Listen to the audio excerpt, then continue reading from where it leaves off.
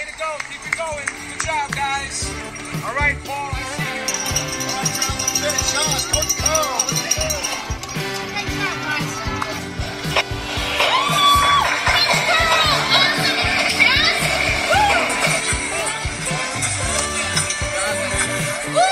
Coach Curl, we love you! Hey there, it's Coach Curl here from the Today's Leader podcast. Welcome to Monday Mentoring. The Coach Curl podcast is brought to you by Think and Grow Business, the home of the Think and Grow Business Mastermind. If you're serious about growing your business, get serious and join a mastermind group today. Find out more at thinkandgrowbusiness.com.au. Hey there, it's Coach Curl here, and welcome to Monday Mentoring. Last Friday, on episode 236 of the Today's Leader podcast, we featured Adam Mendler. Now, Adam shared some real insights into leadership. And one of those insights was a concept that he called the credibility gap. And today I just want to mentor on that particular point. What is the credibility gap? And importantly, for a leader, how can I reduce it? And when we talk about what we're, what is evident right around the world today in the crisis that envelops and swallows the world, the credibility gap is something that is standing out with a number of leaders. Because what we know is that leaders, when they head into a crisis with a credibility gap, often the gap will widen during the crisis. It's a very hard thing to address as we meander or walk our way through the crisis. So, leaders heading into a crisis with a credibility gap are going to be at long odds to be able to resolve it. And even in good times, leaders with a credibility gap often will struggle to resolve or reduce or minimize the gap because the credibility gap really does undermine you as a leader and undermine what it is that you're attempting to do with your team. And often it's because we just don't have the awareness. We just don't have the awareness of what it takes to build and grow our credibility. And some will say because credibility is subjective.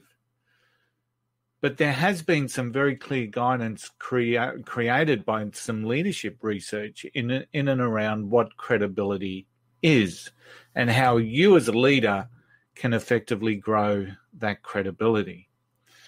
The one that I'm going to refer to today is from Stephen Covey Jr. from his book called The Speed of Trust. And it's one of the, the better leadership books that I've um, ever read or applied in my life. The Speed of Trust really does detail to us so much about how a leader can build trust within a team and how having trust will reduce our cost and maximize our speed.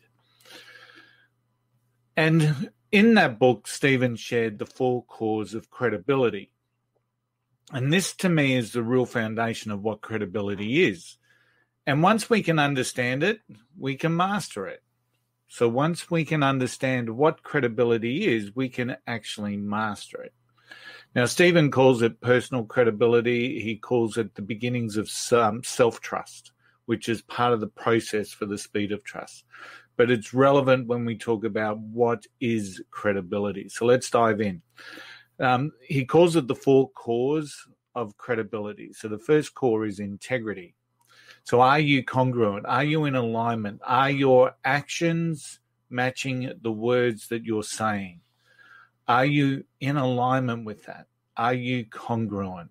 Do people see you as an inter- as a leader with integrity? Do they trust that integrity? Second core is our intent. And our, our intent is driven by what is our agenda. So, are you open? Are you transparent? Are you truly a caring leader? Or are you driving an agenda for you? Is there a hidden agenda within your actions as a leader? Are you focused on the end game or are you capitalizing on the short game? Do others have a reason to trust you. So those first two cores are all about us. They're all about us as individuals. Integrity and intent. Really important to understand that. The second, uh, sorry, the, the second half of the four cores, so we look into core three and core four, are all built around our skill set. So, core number three is our capabilities. So, what are our skills and are they relevant? So, what are our skills and are they relevant? So, so many people will talk about leadership within industries. But if your leadership skills are transferable and can move into other industries, you are relevant. But if you are really focused around being a leader in a set industry, potentially your capabilities are not relevant if you were to move and shift industries. So think about that. Um, what are my skills and are they relevant? Are the skills that you obtained from 10 years ago, are they dated? Are they 20 years ago? Have you maintained relevance within your skill and capability framework? Just a question to ask. And the final core is results. What is your track record? So, as a leader, we all have a track record. We've all got a track record of either success, middle of the road, maybe a couple of failures along the way, but we've got a track record, and that helps us build and um, show people our credibility. So let me just walk through those again. Core number one is integrity. Core number two is intent. Core number three is our capabilities. And core number four is our results. And when they're combined, we build this powerful core for self trust and a powerful core for reducing the credibility gap. I hope you've enjoyed today's session of Monday Mentoring. I hope you have an absolutely amazing week. What I want you to think about this week is reduce the gap. So, where can you focus to help you reduce the credibility gap? Until next week, I'll see you then. Bye for now.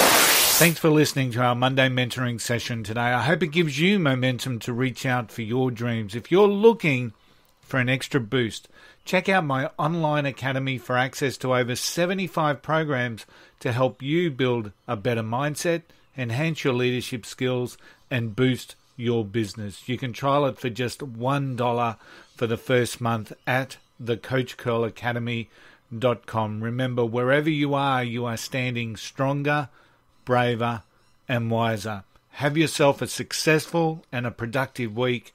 And remember the golden rule just don't be an asshole. I'll see you next time.